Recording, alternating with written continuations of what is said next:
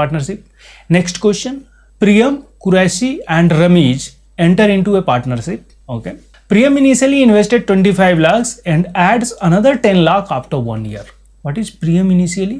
25. Okay. Qureshi initially invests 35 lakh and withdraw 10 lakh after two years. Okay.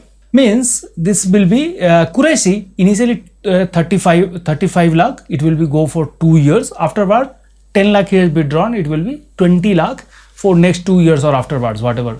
It will be time period is asked in questions. Next is your Ramesh invested rupees 30 lakh total means he has not withdrawn and he has not uh, given extra money also in between. Now, in what ratio should the profit will be divided at the end of three years? Total is three years. Total time period is given three years. Now here it will become case two. Case two means time is same. Time is same. Investment are different.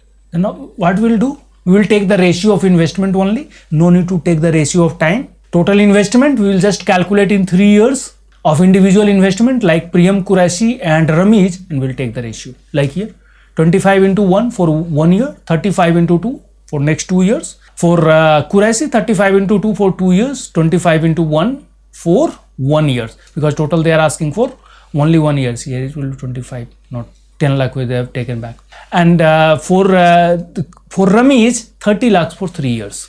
That much only we have to this is investment. This is for one year. One year they kept for 25 lakh next after one year he has invested 10 lakh further. Means it will become 35 lakh. Next two years total time period is three years. Here Qureshi is 35 lakh he has put initially. And after what 10 lakh he has withdrawn. Then 35 minus 25 it will minus 10 and that uh, 25 will be for next one year. And only Ramesh he will put three, 30 lakhs initially and it will continue for next three years. It will become 95 ratio 95 ratio 90 then here you can say just you take the common factor mi minus 19 19 18 19 19 18